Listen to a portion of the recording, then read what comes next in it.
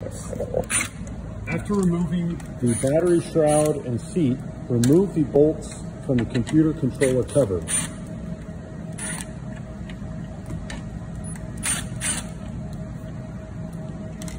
After removing the six bolts, remove the cover and set it aside.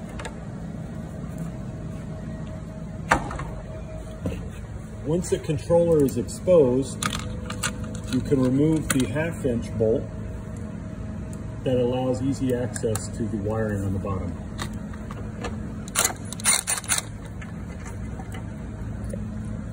Keep all of your bolts and washers together.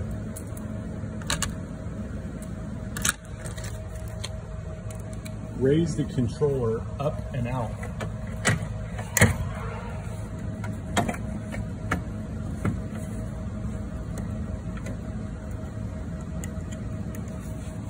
Your vac will be the connector on the bottom right side.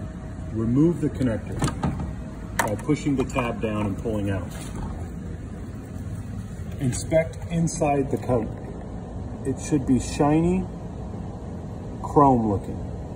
If it shows burns or damage, it needs repair and replacement.